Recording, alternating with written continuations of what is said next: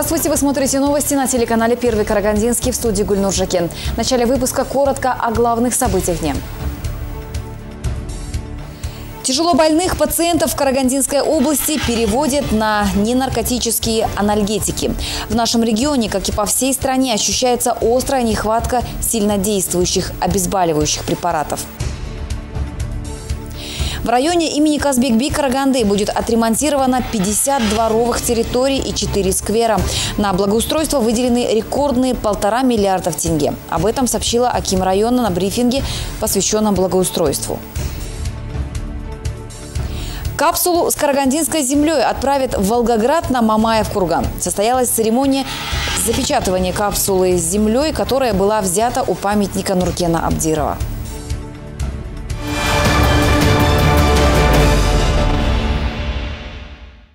Около 100 тысяч тяжело больных в Казахстане нуждаются в сильнодействующих обезболивающих препаратах. В основном это онкологические больные. Сегодня в Восточно-Казахстанской и Западно-Казахстанской областях ощущается острая нехватка наркотических анальгетиков. О ситуации в Карагандинской области на аппаратном совещании рассказал руководитель управления здравоохранения Ержан Нурлыбаев. Поставки сильнодействующих анальгетиков в Карагандинскую область планируются лишь в июне. Об этом на аппаратном совещании в областной администрации доложил руководитель управления здравоохранения Ержан Нурлыбаев. Вот только тяжелобольным обезболивающие препараты необходимы прямо сейчас. Сейчас в рабочем порядке решаем за счет ненаркотических препаратов. А вот в ВКО та же самая проблема была, там был, как они решили, потом объявили, что реш... этот, временное решение нашли. В ВКО Западно-Казахстанская область на прошедшей неделе были резонансные выступления. Вопрос не решен, Мирлан Жикович. И мы тоже ждем резонансное выступление, потом будем решать? Нет, мы э, решаем вопрос за счет того, что индивидуально подбираем дополнительно другие препараты, комплекс препаратов, либо госпитализируем пациентов. Это большей частью относится к пациентам с онкологической патологией четвертой стадии. Это сколько человек примерно? Какой континент? У нас э, порядка 500 больных. Стоит отметить, что подобная ситуация складывается во многих регионах страны. Раньше областные управления здравоохранения сами приобретали обезболивающие в расчете на год. Сейчас все передали единому дистрибьютору. Результаты тендера обещают подвести в ближайшее время. Пока он не прошел, сильнодействующими анальгетиками больных никто не обеспечивает. Андрей Тен, Андрей Тимофеев, Первый Карагандинский. Социальные меры создадут новые стимулы для экономического развития, усилят средний класс, повысит человеческий потенциал нашей страны. В Академии Булашах обсудили пять социальных инициатив главы государства. Образование, доступное для всех среди пяти социальных инициатив, выдвинутых президентом страны, значится повышение доступности и качества высшего образования. Предлагается дополнительно выделить 20 тысяч грантов к ежегодным 54 тысячам грантов. Это позволит подготовить тысячи специалистов, которые будут востребованы в новой экономике в условиях четвертой промышленной революции. Это отметили участники обсуждения инициатив, которую провели в Карагандинской академии «Балашак». Из пяти социальных инициатив, предложенными главой нашего государства, нашим Ельбасы, для нас является отрадным, что он затронул сферу образования, которая является одной из самых актуальных тем на сегодняшний день. А именно это повышение доступности и качества высшего образования, которое способствует воспитанию конкурентоспособного поколения. Одной из актуальных социальных проблем студенчества является нехватка мест в общежитиях. Слова президента о том, что до конца 2022 года будет полностью решен вопрос дефицита студенческих общежитий, обрадовали как студентов, так и преподавателей вузов. Пять социальных инициатив президента полностью соответствуют мечтам казахского народа. Многие наши сотрудники, особенно молодые преподаватели, не могли приобрести жилье. Теперь у них есть такая возможность благодаря программе 7-20-25. Еще нас радует то, что будут выделены дополнительные гранты и построены общежития. Это актуальный вопрос во все времена. У нас есть пятиэтажное общежитие, но с учетом того, что будут выделены 9 тысяч грантов на педагогические специальности, возрастет количество студентов нашей академии. Соответственно, появится нужда в общежитиях. Дополнительные гранты, условия для обучения, несомненно, дадут толчок активности подрастающего поколения, заявляют студенты и преподаватели Академии Балашак. Они также высказали полную поддержку инициативам главы государства, направленных на социальную модернизацию страны. Андрей Тена, Манкужанов, Андрей Тимофеев, Первый Карагандинский. Объединиться для борьбы с коррупцией. Такую задачу озвучили на втором конгрессе гражданских инициатив. В областном филиале партии «Нурутан» собрались граждане, придерживающиеся активной социальной позиции. С речью о мерах э, по борьбе с коррупцией выступил руководитель департамента агентства по делам госслужбы и противодействию коррупции по Карагандинской области Жандос Арсенов. Коррупция – социальное зло, которое препятствует развитию государства. Она способна разрушить устои даже самой сильной страны. По этой причине формирование антикоррупционного мировоззрения является наиболее актуальным способом борьбы с коррупцией. Сотрудники Департамента агентства по делам госслужбы и противодействию коррупции проводят массовую разъяснительно-агитационную работу на территории региона для обеспечения прозрачности работы государственных органов, а также для контроля процесса государственных закупок при Департаменте была создана специальная мониторинговая мониторинговая группа.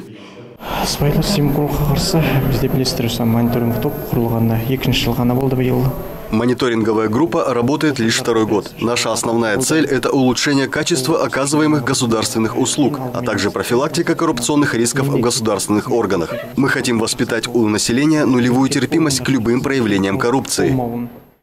Конгресс гражданских инициатив служит площадкой для обсуждения социально значимых проектов. Руководитель департамента агентства по делам госслужбы и противодействию коррупции Жандос Арсенов уверен, что совместные усилия граждан повысят эффективность мер по борьбе с коррупцией. Особое внимание уделяется мониторингу государственных закупок. Глава ведомства поделился внушительными результатами работы мониторинговой группы. В прошлом году мы проводили уже первый конгресс, и по результатам этого первого конгресса мы реализовали и до сих пор реализуем некоторые проекты, которые дают действительно очень хорошие результаты. Один из таких проектов – это мониторинг государственных закупок называется.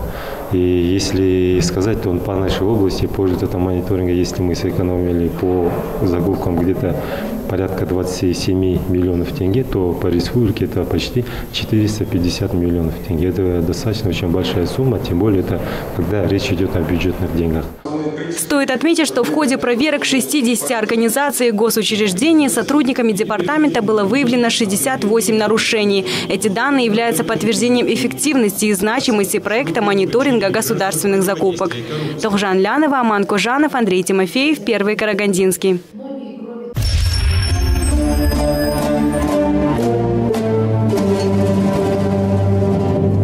В некотором царстве жили король и королева. Росли у них три дочери принцессы. И вот однажды злая колдунья предвещала, что принцессы заболеют инфекцией. Но король с королевой узнали, что волшебная вакцина спасет их детей, и они никогда больше не заболеют. Завтра я поведу вас на прививку. А теперь пора спать. Подготовлено Национальным центром проблем формирования здорового образа жизни Министерства здравоохранения Республики Казахстан.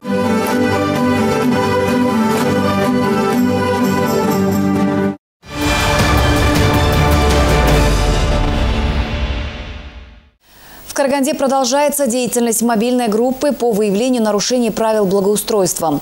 Вопрос санитарного состояния и благоустройства территории района всегда остается приоритетом в деятельности Акимата района имени Казбекби. Об этом в ходе брифинга в региональной службе коммуникации сообщила Аким района Татьяна Шатохина. В районе имени Казабекби на постоянной основе сотрудниками районного акимата совместно с местной полицией и органами правления продолжается работа по выявлению фактов нарушений и соблюдения правил благоустройства. С начала года составлено более тысячи протоколов по фактам нарушения этих правил. И все же цель работы мобильных групп – не штрафовать. А, тут подчеркну, что цель не штрафы. Из этих 1075 э, более тысячи это предупреждение. Цель, чтобы наш город был э, чистым и э, доступным, чтобы наши граждане спокойно могли пройти по тротуарам, по дворам. Глава района отметила, что в прошлом году проведена объемная работа по благоустройству дворовых территорий, строительству скверов и детских игровых площадок. В нынешнем году работа будет продолжена. На эти цели выделено более полутора миллиардов тенге. В целях дальнейшего улучшения внешнего облика Караганды, обустройства дворов именно района Казбеги города Караганды, обустройства дворовых территорий, практической реализации действующей э, именно э, политики по созданию надлежащих условий для отдыха жителей. На 2018 год благодаря поддержке Акима области, Акима города, депутатского корпуса, в целом на благоустройство дворов района Казбеги выделено 1 миллиард 623 миллиона тенге. На эти средства будут благоустроены 50 дворовых территорий, 4 сквера и 7 мини-скверов. Вместе с этим уже через неделю пройдет первый городской субботник. Районный Аким призвала всех горожан принять в нем активное участие. Хочу, э, воспользовавшись э, площадкой э, брифинга, призвать всех карагандинцев принять участие в субботниках и выйти буквально у себя во дворе, покрасить лавочку, если это необходимо, посадить дерево, покрасить дверь значит, входной подъезд, то есть принять активное участие. Всегда это было традицией, всегда это было общей нашей работой обновления весенние дни и вхождения затем уже э, в лето чистым городом. Татьяна Шатохина особо подчеркнула, что благопристойное содержание города должно стать заботой не только властей, но и каждого жителя. Андрей Теншал, Карел Тенбеков, Андрей Тимофеев, Первый Карагандинский. В Караганде прошло очередное заседание Совета по делам молодежи. На повестке дня обсуждались вопросы научной деятельности молодого поколения. Мероприятие прошло с участием Акима Караганды Нурлана Аубакирова, а также сотрудников молодежного ресурсного центра, активной молодежи, деятелей науки и членов городского маслихата. В этом году исполняется пять лет молодежному ресурсному центру. За эти годы центр оказал колоссальную поддержку карагандинской молодежи. Как отмечает директор ресурсного центра Бахтиарбек Мурзаев, заседание Совета по делам молодежи проводится по меньшей мере четыре раза в год. На этих встречах обсуждаются проблемные вопросы, которые требуют решения и пристального внимания. Около половины членов Совета составляют представители молодого поколения. В составе э, Совета более 50% составляет именно молодежь, э, которая представляет учебные заведения, общественные объединения, э, неправительственные организации, также депутаты городского маслихата, депутаты молодежного маслихата. Здесь хотелось бы особо подчеркнуть, что именно по инициативе э, членов э, нашего совета обсуждаются вопросы и составляется э, общегодовой план, и где и вне плана мы проводим такие заседания. В своей речи Аким Караганды Нурлан Аубакиров подчеркнул, что в условиях третьей модернизации страны важную роль в ее развитии сыграет молодежь. Градоначальник поделился своим видением того, в каком поколении нуждается современный Казахстан. Молодые люди у нас э, вступают в новую эпоху, становятся свидетелями и активными участниками глобальных изменений во всех сферах жизни общества. В современных условиях молодежь должна быть финансово и политически грамотной, учиться умело и эффективно использовать знания, технологии в повседневной жизни, владеть иностранными языками, быть э, патриотически настроенной и социально ответственной. Именно молодежи предстоит проявить свои лучшие способности в процессе реализации третьей модернизации страны. Необходимо отметить важность сохранения молодежью духовных и культурных ценностей – на Совете обсудили вопросы вовлеченности представителей молодежи в научную деятельность. На эту тему с докладом выступил проректор Карагандинского государственного университета имени Евнея Арстановича Букетова Абай Калыков. Он поведал участникам о достижениях студентов вуза в научной сфере. Фонд первого президента Республики Казахстан «Лидеры нации» проводил конкурс на лучшее студенческое научное общество в высших учебных заведениях, и мы заняли третье место. В 2015 году Совет молодых ученых КАРГУ имени Букетова признан победителем и награжден дипломом первой степени э, республиканского конкурса «Лучший совет молодых ученых и на, э, в научных организациях и высших учебных заведениях» и удостоен денежной премии в размере 450 тысяч тенге. В 2017 году молодые ученые возглавляли руководство шести финансируемых научных проектов на сумму более 38 миллионов тенге. Молодежный ресурсный центр тесно сотрудничает со школой госслужбы, которая уже 10 лет занимается подбором кадров среди молодежи для работы в государственных организациях. Руководитель школы Малика Кусинбаева отмечает, за этот период времени школа госслужбы сумела дать необходимые знания для тысячи молодых людей, которые впоследствии успешно трудоустроились в госорганы. В том году у нас было 500 участников, и из 500 участников всего лишь прошли 40 человек, получили дипломы. И сейчас из них 20 20% работают на государственной службе. А из общего числа работают 70% на государственной службе с 2008 года. В завершении мероприятия Аким Караганды подчеркнул необходимость практического применения разрабатываемых студентами проектов. Глава города отметил, что нужно оказывать поддержку молодым ученым, чтобы каждый из них смог реализовать свой потенциал в полной мере. Тохжан Лянова, Жаслан Макулбеков, Андрей Тимофеев, Первый Карагандинский. Карагандинские полицейские и родственники героя Советского Союза Нуркена Абдирова заложили капсулу с карагандинской землей, которую доставят в Волгоград в Мамаев-Курган, где похоронен летчик. На торжественной церемонии собрались ветераны Великой Отечественной войны, родные Нуркена Абдирова и стражи порядка. Мероприятие приурочено к 75-й годовщине победы в Сталинградской битве, во время которой героически погиб наш земляк.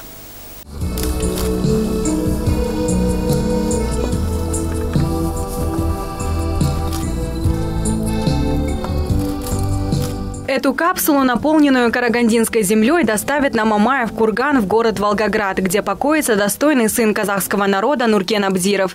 Его подвиг по сей день помнит далеко за пределами нашей страны. Во время последнего боевого вылета Нуркен Абдиров направил свой пылающий самолет на танки противника и героически погиб в возрасте 22 лет. За героизм и самопожертвование летчику посмертно присвоено звание Героя Советского Союза. В канун 75-летней годовщины Сталинградской битвы Карагандинский Карагандинские полицейские решили отдать дань памяти и уважения герою. Участники торжественной церемонии решили сделать это особым образом, наполнив капсулу родной землей летчика.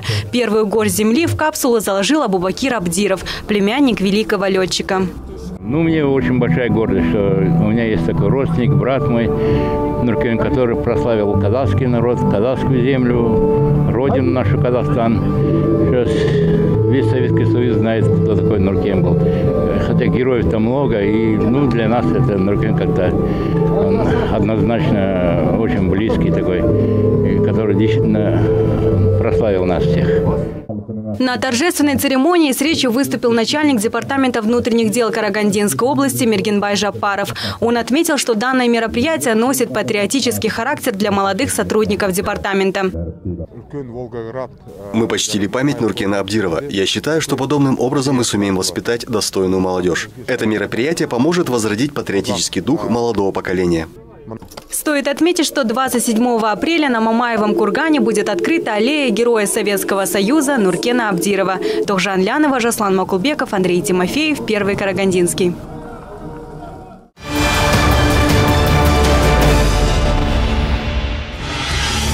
Это были все новости на сегодня. Спасибо за внимание.